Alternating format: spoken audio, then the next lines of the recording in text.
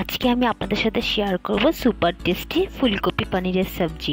এইভাবে একদিন বানিয়ে খাবেন। নমস্কার বন্ধুরা, পম্পি কুকিংয়ে সবাইকে স্বাগত জানাচ্ছি। তো আমি একটা কড়াই বসিয়ে দিয়েছি, ওর মধ্যে সর্ষের তেল দিয়ে দিলাম, তারপরে দুটো শুকনো লঙ্কা মাঝখান দিয়ে চিড়ে দিয়ে দিয়েছি, আর দিয়ে দিয়েছি গোটা জিরে। একটু লাল লাল করে ভেজে আনছি, তারপরে দিয়ে দিলাম সেদ্ধ করা ফুলকপি। তো আমার এখানে আগের থেকে আমি ফুলকপিগুলোকে সেদ্ধ করে নিয়েছিলাম। তো আমি এটাকে এক মিনিট মতন ভেজে নিচ্ছি, লাল লাল করে। এদিকে আমি মশলা রেডি করছি, দুই চামচ দিয়ে দিলাম জিরে গুঁড়ো পাউডার লবণ পরিমাণ মতন হলুদ গুঁড়ো দিয়েছি আর দিলাম কাশ্মীরি লঙ্কার গুঁড়ো। একটু লাল লাল হবে দেখতে খুব ভালো হয়। একটু সামান্য জল দিয়ে এটার একটা পেস্ট তৈরি করে নিলাম, এই যে এমন পেস্ট তৈরি হয়ে গেছে। তো আমার এটা ফুলকপিটা কিন্তু এক মিনিট মতন ভাজা হয়ে গেছে। তারপর আমি দিয়ে দিলাম টমেটো। টমেটো দিয়ে আমি একটু মিক্সড করে নিচ্ছি। তো পাঁচ ছয় সেকেন্ড একটু মিক্সড করে এখন দিয়ে দিব ওই মশলাগুলোকে। যে পেস্ট বানিয়েছিলাম, ওই মশলাগুলোকে এর মধ্যে দিয়ে দিলাম।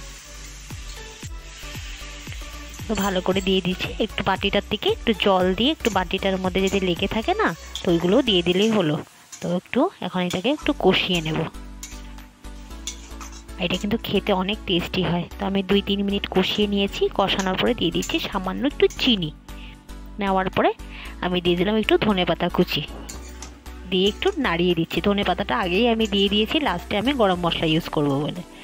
তো ধনে পাতাটা দিয়ে একটু মিক্সড করে নিচ্ছি, ধনে পাতার ফ্লেভারটাও এসে যাবে। আর এখানে আছে আমার পনির, আগের থেকে আমি পনির টুকরো টুকরো করে কেটে ভেজে নিয়েছিলাম হালকা হালকা করে।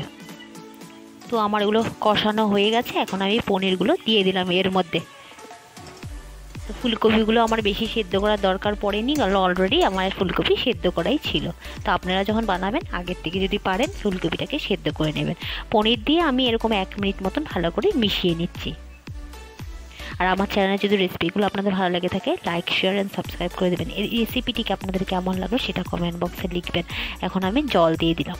পনির দিয়ে এক মিনিট মতন আমি নাড়িয়ে চাড়িয়ে আমি জল দিয়ে দিলাম। বেশি জল দেবো না, একটু গাঢ় গাঢ় রাখব। তো হালকা পাতলাও হবে না, একটু ভালো হবে খেতে। এইভাবে। বেশি পাতলাও নয় বেশি গাঢ়ও নয় একদম মিডিয়াম রাখতে হবে। সো এখন আমি একটু গরম মশলা দিয়ে দিলাম। এখানে আমি গরম মশলা ইউজ করছি। একটা দারচিনির টুকরো আর দুটো এলাইচি। আপনারা চাইলে সাই গরম মশলা ইউজ করতে পারেন। তো দিয়ে বেশ রেডি হয়ে গেলো। এখন নিভিয়ে দিলেই হলো গাছটা। আর এইভাবে কোনো দিনও বানিয়েছিলেন কিনা আমাকে নিচে কমেন্ট বক্সে লিখে জানাবেন। আর আমার থেকে অন্য কোনো রেসিপি জানতে চান, সেটাও কমেন্ট বক্সে লিখেবেন আমি নিশ্চয়ই ট্রাই করব। আমি আপনাদেরকে অনেক সহজভাবেই রেসিপিগুলো দেখাই। কেমন লাগলে আমাকে জানাবেন কিন্তু। Please like share and subscribe my channel ভালো থাকুন, সুস্থ থাকুন। টাটা। Love you all